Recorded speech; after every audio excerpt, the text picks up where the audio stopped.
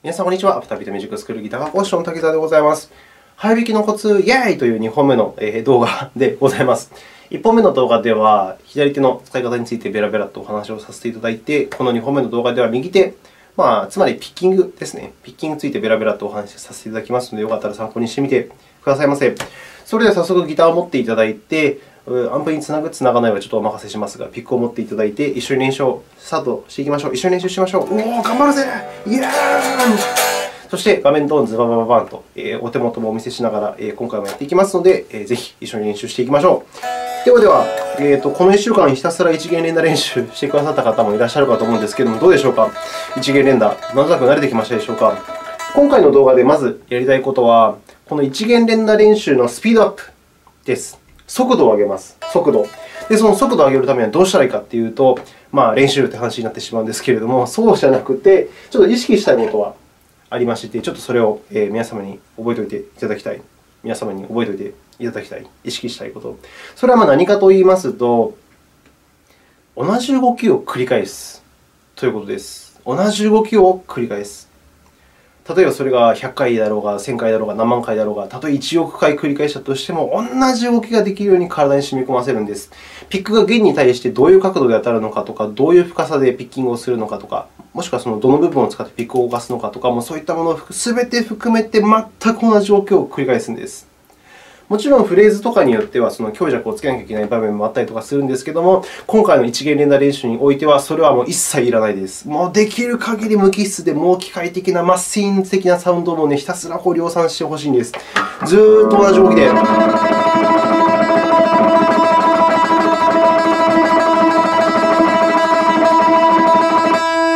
ピッキングをし続けていただきたいんです。で、それができる限りの速さでやっていって、リラックスをしながらできる限り速くしていくということです。この当たる角度とか深さに関しては、これ、本当人それぞれなので、あの一概にこうとは言えないで、言いにくいですし、ちょっと僕もあんまり言いたくはありません。あの皆様がいろいろこう、ね、あのこの角度とか深さとかを試して、あ、これはやりやすいかもとか、あ、ちょっとこのフォームならうまくいける気がするというのを見つけていただきたいんです。で、その角度とか深さとかがあのなんとなく定まってきたら、それをひたすら繰り返して、全く同じ動きを繰り返せるように体に刻み込んでいくわけです。まあ、ちょっと僕はこんなバラバラって弾いてるからなのか、なんかこんな早く弾かなきゃいけないのかって思ったりするかもしれないんですけれども、もっとゆっくりでも大丈夫です。自分が可能な限りのスピードで、可能な限りのスピードで、そしてリラックスをしながら、体から、もう全身から力を抜きながら繰り返していくわけです。とりあえずこれが一元連打練習のブラッシュアップという感じです。で、その次やっていただきたいことがまたありまして、ちょっとあの無茶ぶりをするようなんですが、この一元連打練習の速度、この右手のこの速度でクロマチックを弾いていただきたいんです。えー、どういうことかと言いますと、わかりますでしょうか、えー、そんな無茶苦茶言うなって思った方いらっしゃるかと思うんですけども、その無茶苦茶をやっていただきたいんです。一元連打練習でもしこのくらいの速度でピッキングできたならば、この速度でクロマチック練習をしていきます。7フレットからスタートして、こんな感じです。もし一芸連打練習がこのぐらいの速度でできたならば、この速度で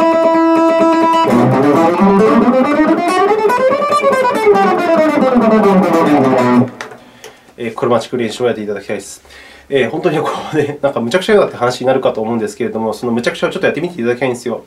あのなんて言うでしょう。1本だけ弦を弾くとき、あのピッキング、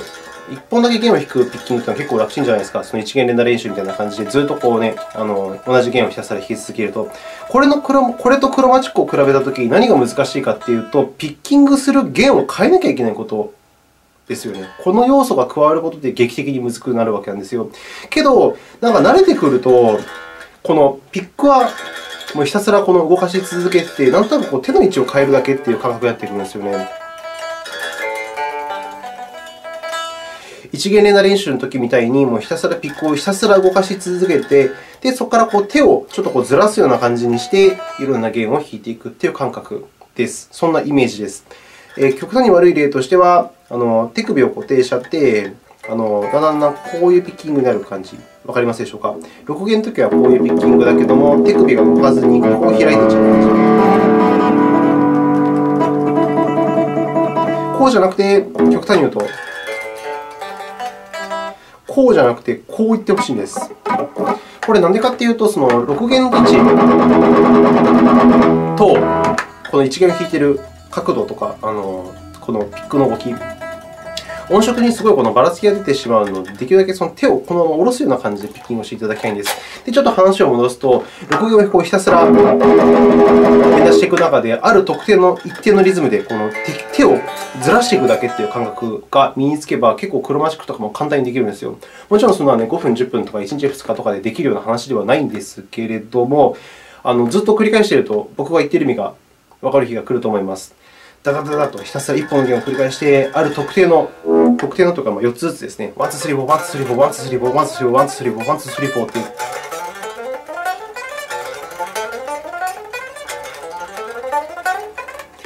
一定の速度でこの弦をずらしていくという感覚。これが身につけば、もうほぼもう OK、OK というか、もうね、すごいもうパンパンザイという感じでございます。あとはその一元連打練習のスピードアップを測って、またこの、ね、スピードの全体の底上げを測ればいいだけなので、この感覚がつかめればすごく嬉しいです。もちろんその最初はすげえ難しくてね、こんなんできるわけねえじゃんって思うかもしれないんですけれども、そこは本当にもう、なんて言うんでしょう、なんか勢いです。勢いです。ノリです。ノリです。勢いです。勢いでこうガッといくんです。オラオラオラっつって、一元連打練習をしているときのこの速度、このテンションでオラオラオラオラオラもちろんそのね、なんかこううまく弾けなくていいんですよ。っ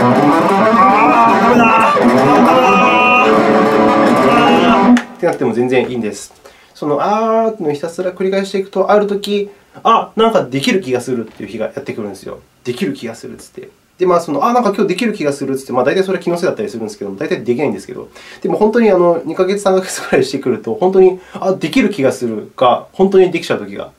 来るので、ちょっとその瞬間を楽しみにひたすら繰り返していただけると嬉しいです。あとはもう皆さんのその努力次第というか、もう練習次第なので、もうあとはもう時間をかけてたくさん練習していただければという感じでございます。まあ、ちょっとね、あの 珍しくすごい無茶ぶりを、珍しくないか。まあ、結構無茶ぶりはよくするので、珍しくないかもしれないですね。まあ、ちょっと無茶ぶりに感じな方もいらっしゃるかもしれませんが、えー、そんな感じでございます。一元連打練習の速度でクロマチックを弾いてほしい。これが今回の動画の最終的な課題でございます。で、もうちょっと余裕があるぜという方は、もう1個だけ、えー、スケール練習をしてみましょう。スケール練習。どういう練習かといいますと、えー、6弦の8フレットからスタートします。6弦の8フレット、で6弦の10フレット、で6弦の12フレット。これ、ドレミの音階です。ドレミ。そして、5弦に行きまして、また8、10、12と行きますと、これがファソラの音階です。ドレミ、ファソラ、ドレミ、ファソラの音階です。この音階を使って4個ずつ音を並べていきます。どういうことかといいますと、まずドレミファ。で、その次はレの音からスタートして、レミファソで、その次はミの音からスタートして、ミファソラという具合。ドレミファ、レミファソ、ミファソラ。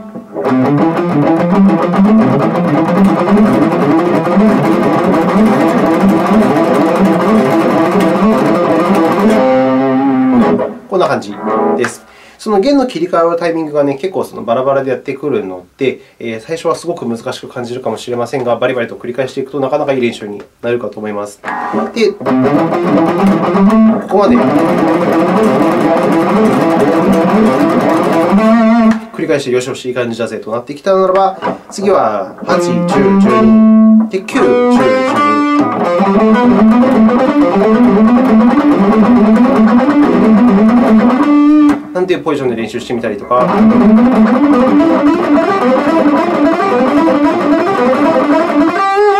なんていうポジションで練習してみたりとか。で、その全体的にそのドレミファソラッシドのスケールを使っていくので、6弦から8、10、12、8、10、12。で、4弦は9、10、12、9、10、12。で、2弦は10、12、13。1弦も10、12、13。っていう感じで弾いていくと、っていうドリミファソラシの C メジャースケールの音階を弾くことができるんです。この音階を全部バードを使って、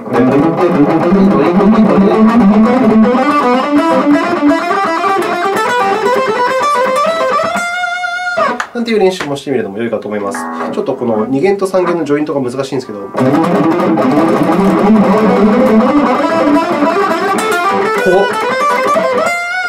ちょっと難しかったりとかするんですが、ま、ちょっと興味があれば、そんな練習もしていただくと良いかなと思います。こんな感じで、最後のスケール練習はちょっと興味があればで大丈夫です。とりあえずやっていただきたいことは、一元連打練習のスピードアップと、クロマチックをその速度でバーッと、一元連打練習のスピードでバーッと弾き切ること、この2つが今回のミッションでございます。まあ、なかなかうまくいかないと思うんですけれども、あとは気合と根性の